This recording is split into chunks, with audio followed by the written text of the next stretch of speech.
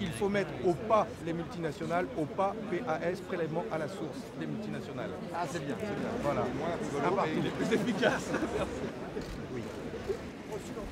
Nous avons été reçus longtemps par la direction de Google France et nous avons eu un échange très constructif.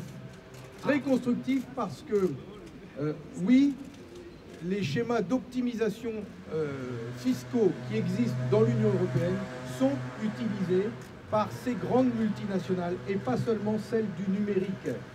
Et oui, il y a besoin de mieux répartir les richesses et de mieux taxer les bénéfices de ces multinationales. Et c'est bien la raison pour laquelle il est urgent de légiférer et d'avoir une loi qui permette à ces multinationales de payer leur impôt par rapport à l'activité qu'ils ont en France.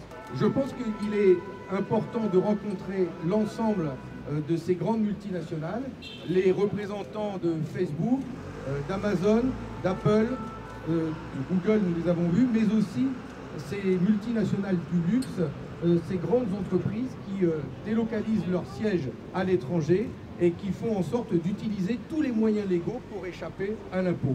C'est un vrai sujet qui prive notre pays de 20 milliards d'euros à l'échelle de la France et de 120 milliards d'euros à l'échelle de l'Union européenne, juste sur la question de l'impôt euh, sur les bénéfices.